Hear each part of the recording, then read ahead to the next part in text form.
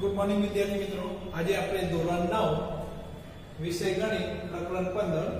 સંભાવનાનો અભ્યાસ કરીશું. હવે વિદ્યાર્થી મિત્રો અહીં આપણે બે દાખલાની રચના લખી પહેલા પ્રથમ જોઈએ કે હવામાન ખાતેની, ખાતાની કચેરી બતાવે છે કે છેલ્લા સરંગ બસો પચાસ દિવસના તેમના હવામાનની આગાહી પૈકી એકસો પંચોતેર દિવસ તે સાચી પડી. તો આપેલ કોઈ એક દિવસે આગાહી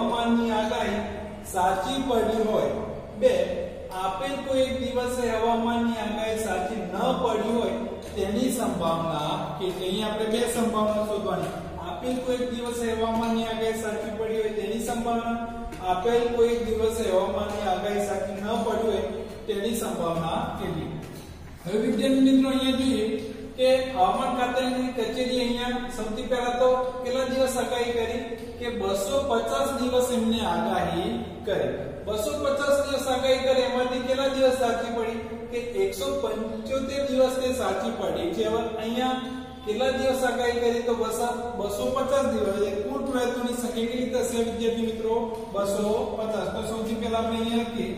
કે કુલ પ્રયત્નોની સંખ્યા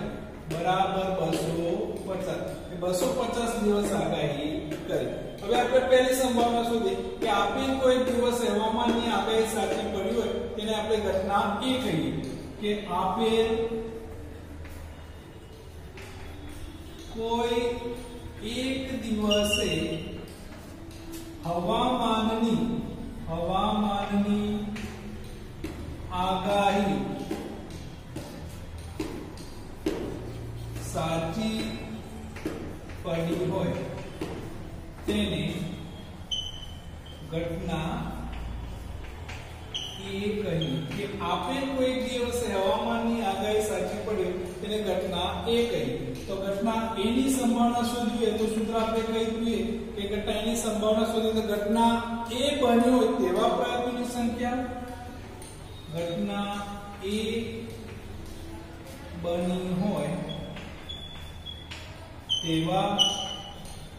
પ્રયત્નોની સંખ્યા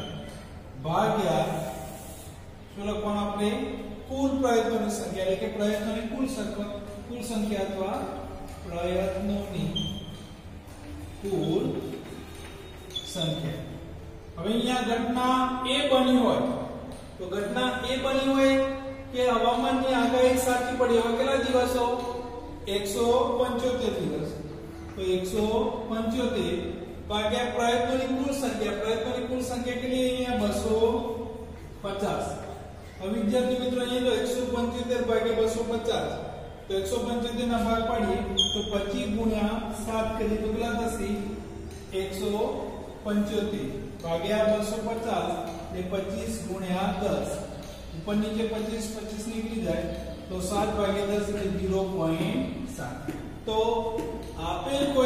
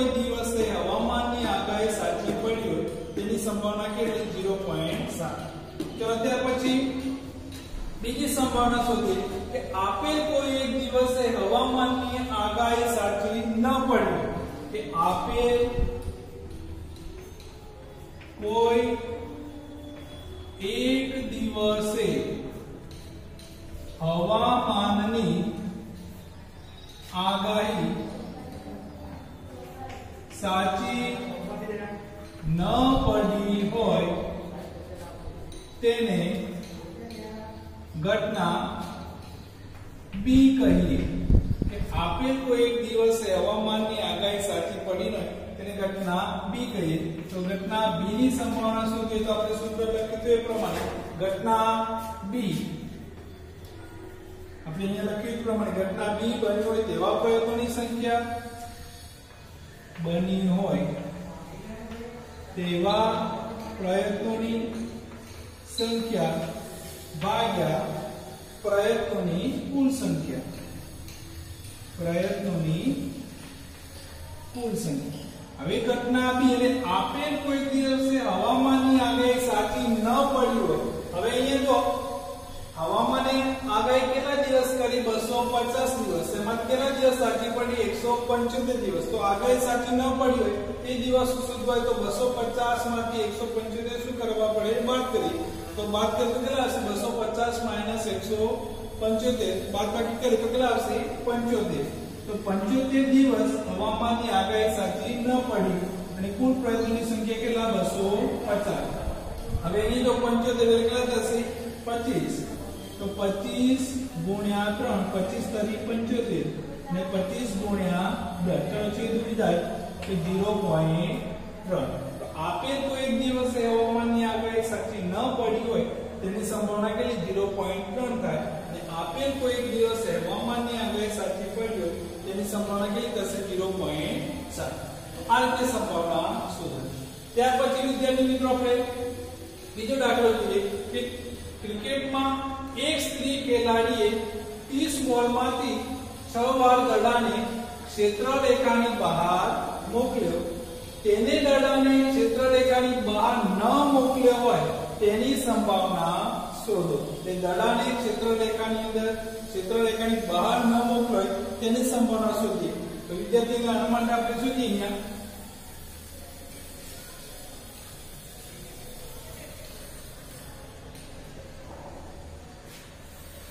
એ સૌથી પહેલા કુલ પ્રયત્નોની સંખ્યા લખીએ કે કુલ પ્રયત્નોની સંખ્યા બરાબર કેટલા થશે કે ક્રિકેટમાં એક સ્ત્રી ખેલાડી 30 બોલ માટે કુલ પ્રયત્નોની સંખ્યા કેટલી થશે 30 શું સંભાવના શોધવાની તેને દડાને ક્ષેત્ર રેખાની બહાર ન મોકલ્યો હોય તો આપણે શું લખીએ કે ખેલાડીએ દડાને ખેલાડીએ દડાને ક્ષેત્ર રેખાની બહાર ન મોકલ્યો હોય તેને ઘટના એ કહીએ તો ઘટના એ ની સંભાવના શોધીએ તો આપણે લખ્યું એ પ્રમાણે સૂત્ર કે ઘટના એ બની ઘટના એ બની હોય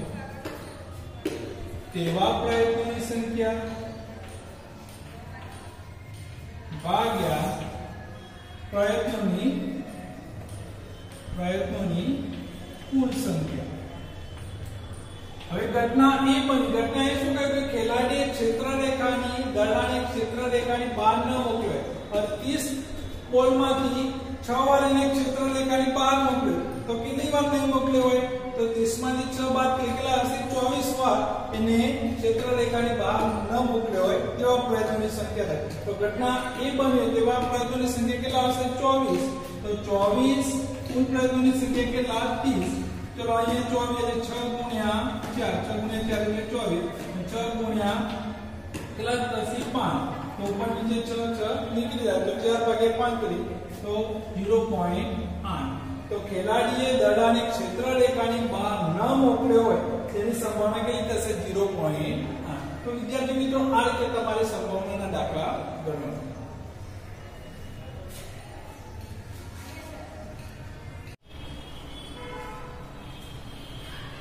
ત્યાર પછી વિદ્યાર્થી મિત્રો જોઈએ કે બે બાળકો ધરાવતા પંદરસો કુટુંબો યાદચ્છિક રીતે પસંદ કરવામાં આવ્યા અને નીચેની માહિતી પ્રાપ્ત થઈ કુટુંબમાં છોકરીની સંખ્યા અને કુટુંબની સંખ્યા છોકરીની સંખ્યા બે હોય એવા કુટુંબની સંખ્યા કેટલા ચારસો પંચોતેર કુટુંબમાં એક છોકરી હોય એવી કુટુંબની સંખ્યા આઠસો ચૌદ અને જીરો છોકરી હોય એક પણ છોકરીને એવા કુટુંબની સંખ્યા બસો અગિયાર યાદચ્છિક રીતે પસંદ કરે કુટુંબમાં બે છોકરી હોય બે છોકરી હોય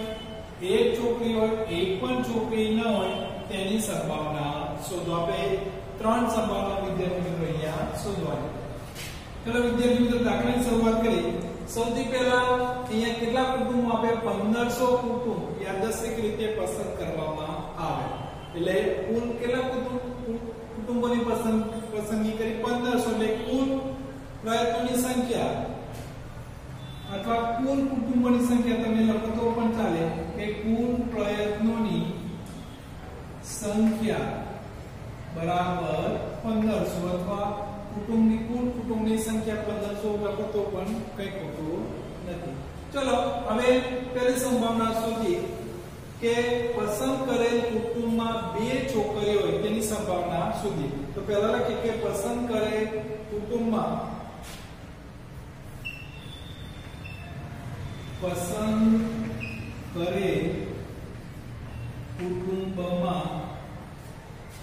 બે છોકરીઓ હોય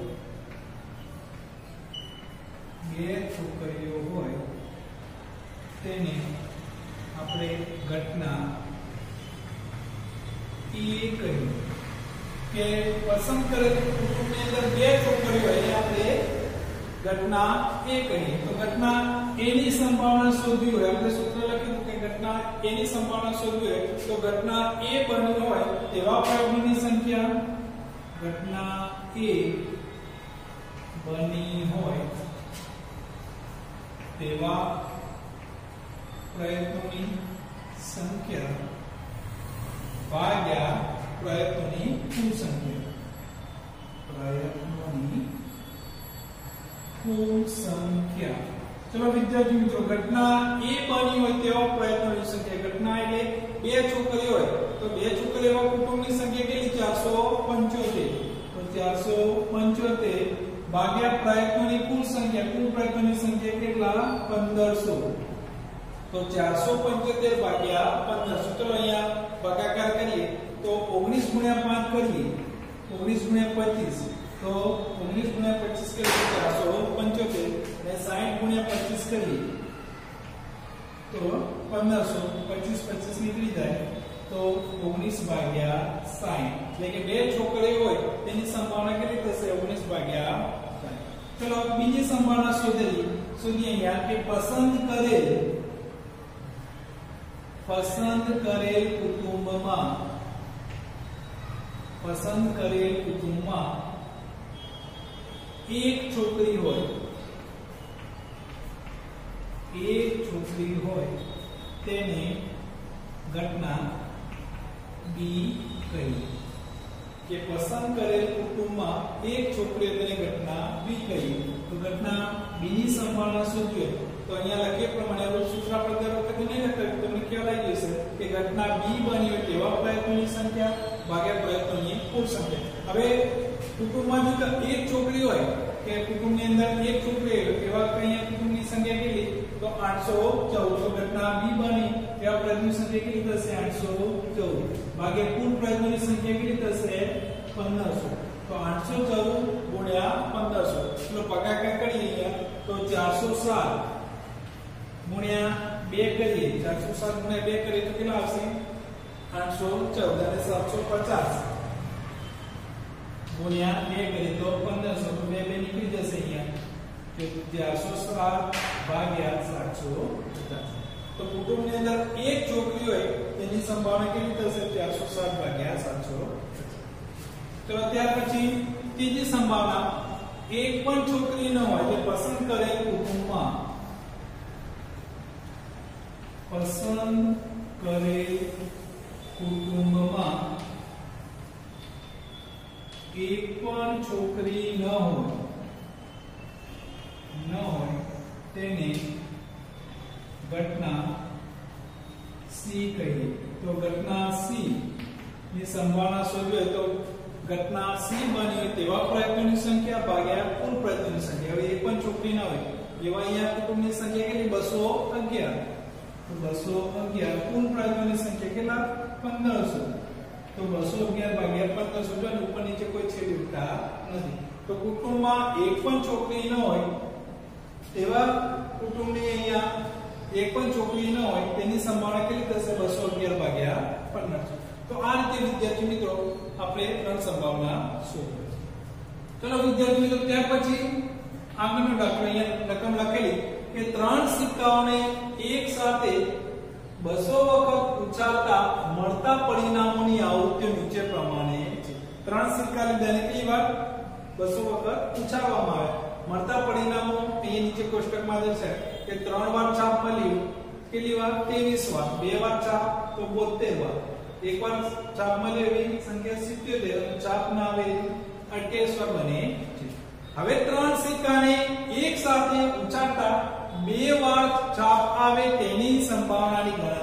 કરો એટલે કે ત્રણ સિક્કાને એક સાથે ઉછાળતા કેટલી વાર છાપ આવે બે વાર છાપ આવે તેની સંભાવના શોધવાની છે ચલો વિદ્યાર્થી મિત્રો અહીંયા નીચે આપણે ગણીએ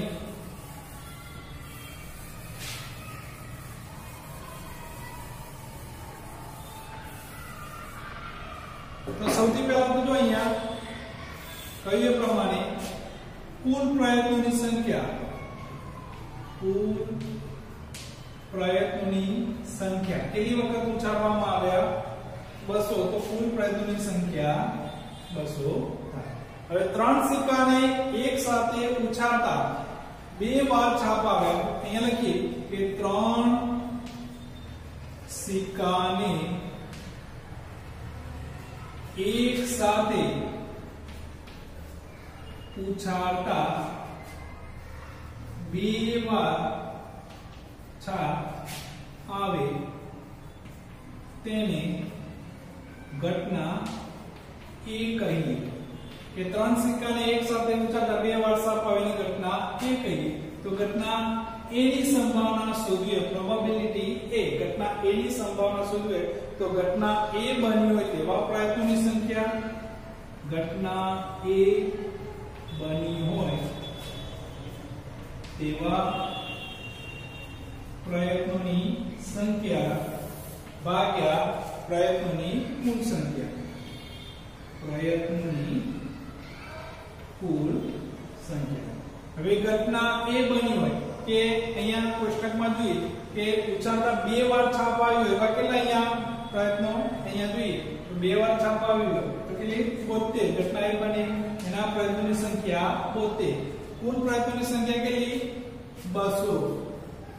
ચલો ઉપર નીચે છેદ ઉડાડો અહીંયા 72 નીચે 200